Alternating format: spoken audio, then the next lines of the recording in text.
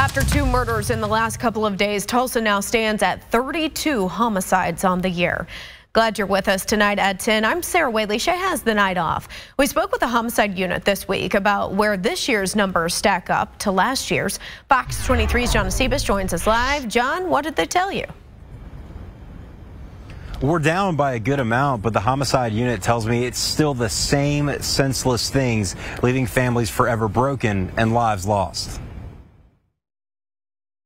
Tulsa's last three killings are still unsolved. Last weekend, Terrence McElwee was shot and left for dead on Highway 169. This weekend, 19-year-old Nakari Owens was shot and killed at a nightclub. And Monday evening, Corey Shaver was killed, shot while in her own car. It's the same stuff year in and year out. I mean, nobody gets killed for a good reason. I spoke with the lead detective in the homicide unit, Lieutenant Brandon Watkins, about the recent killings. People let stupid, petty disputes get the better of them and they end up, you know, murdering somebody for for stuff that should have been, you know, a strongly worded email. At 32 homicides this year, we are down considerably from where we were last year. In 2022 at this time, we had nearly 50 homicides. Last year we had uh, a lot of murders in the first half of the year and right up till about October and then it slowed down dramatically from October. But Lieutenant Watkins says less or more, the killings are a result of the same behavior. Everybody's walking around with a gun, people who should have one and